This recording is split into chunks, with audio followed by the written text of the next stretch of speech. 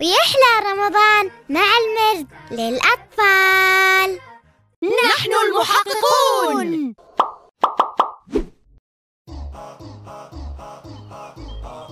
هل هدأت الآن؟ هل من الممكن أن نتكلم قليلاً؟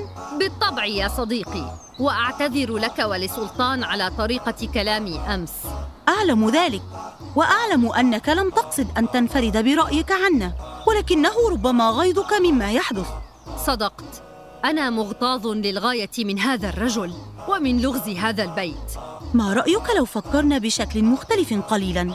وكيف ذلك؟ هل تذكر الأوراق التي أخذتها معك بعد خروجنا من البيت الغامض هذا؟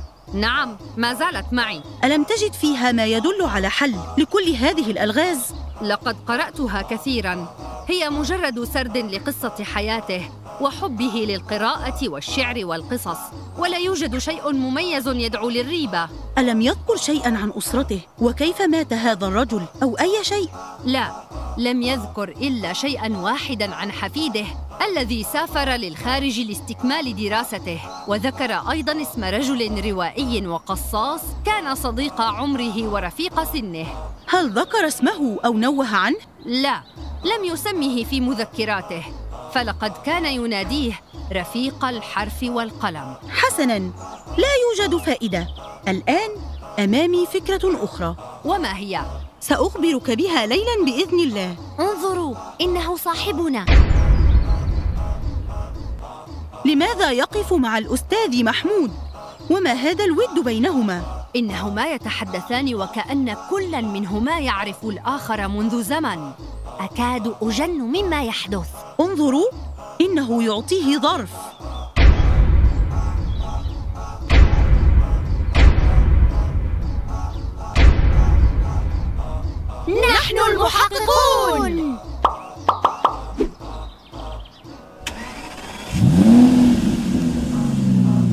مرحبا يا أبنائي. هل اخترتم الشتلات التي سوف تزرعونها؟ نعم كل منا اختار شيئا مميزا. أتعلمون يا أبنائي لماذا قامت المدرسة بهذا النشاط؟ لما يا أستاذ؟ أولاً هو ترفيه لكم وطريقة مبتكرة لكسر روتين التعليم وتجديد النشاط. والأهم من ذلك هو تعليمكم أمراً مهماً للغاية. وهو؟ أن من زرع حصد فكل منكم اختار شتلته المفضلة. وكل منكم سيزرعها بيده وكل منكم سيرعاها حتى تزهر صدقت يا أستاذ ولكن هل يمكن أن أضيف أننا نفعل ذلك من أجل أن يكون الحي جميلاً؟ وهذا شيء إضافي أننا تعاوننا معا لتحقيق شيء جميل فالجمال في حد ذاته قيمة روحية نحتاج إليها فعلا فكل ما نزرعه إما شكله جميل أو زهره جميل أو رائحته جميلة أو ثمره جميل هل لي أن أسألك سؤالاً يا أستاذ؟ تفضل يا بني أه، لماذا كنت تقف مع هذا الرجل الملثم؟ ولماذا هو ملثم هكذا؟ حسنا. بالنسبة للسؤال الثاني فأنا لا أعرف في الحقيقة لماذا هو ملثم هكذا. ولكن إن شئت أنت فاسأله.